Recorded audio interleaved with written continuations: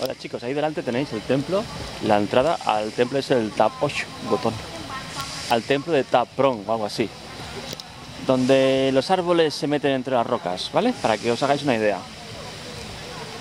Está de turistas. Ahora os voy a enseñar el interés que tiene los locales, la gente local, por esto de aquí. Eh, relata, la cara que vais a ver relata perfectamente el interés que tienen, ¿vale?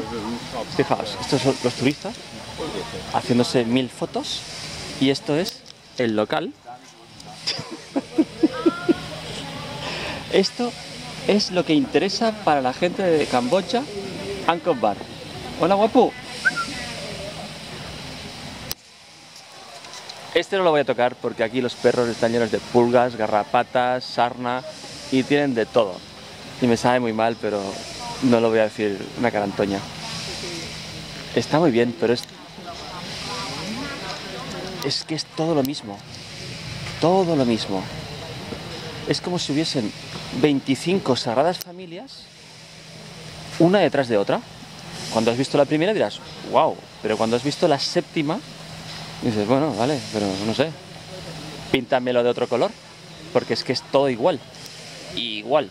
Pero bueno, había que venir, aquí estamos. Angkor Bar. Visto.